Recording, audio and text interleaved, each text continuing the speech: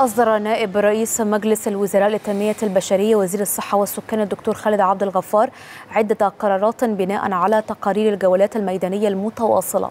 ومن شأن تلك القرارات ضخ دماء جديدة في مختلف قطاعات الوزارة. وتفعيل دور الشباب وتمكينهم بعد الانتهاء من بناء قدراتهم الإدارية خلال الفترة الماضية. بما ينعكس على انضباط العمل وجودة الخدمات الطبية المقدمة للمواطنين.